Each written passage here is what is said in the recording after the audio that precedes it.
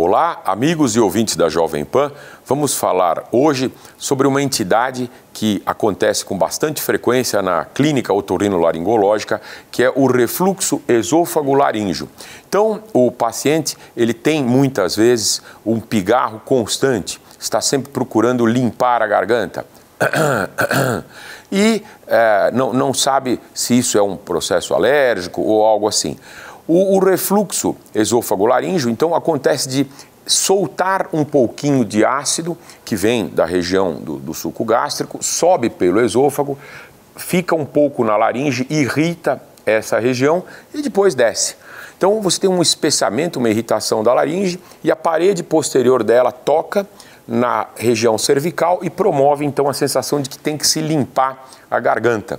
Uh Feito o tratamento adequado, é, tem, é, a, o tratamento consiste em ter algumas certas limitações alimentares, evitar comer muito antes de dormir, evitar alimentos que vão promover um, um aumento da acidez né, é, durante o dia, e aí corrige esse problema e elimina essa sensação desagradável de ficar pigarreando o dia inteiro. Então fica aqui a nossa orientação de hoje.